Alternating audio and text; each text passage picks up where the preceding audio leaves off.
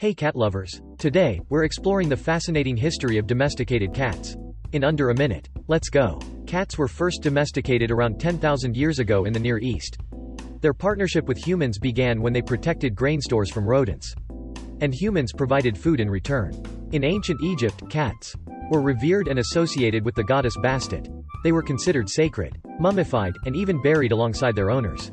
The popularity of cats in Egypt led to their spread throughout the Mediterranean. Throughout history, cats spread across the world, protecting Buddhist scriptures in China, symbolizing luck in Japan, and joining Europeans on their voyages to the New World. Sadly, during the Middle Ages in Europe, cats faced persecution due to superstitions, which ironically contributed to the spread of the bubonic plague. Today, we have over 70 recognized cat breeds, each with unique characteristics. Cats have become cherished companions in millions of households around the world. And their bond with humans continues to grow stronger.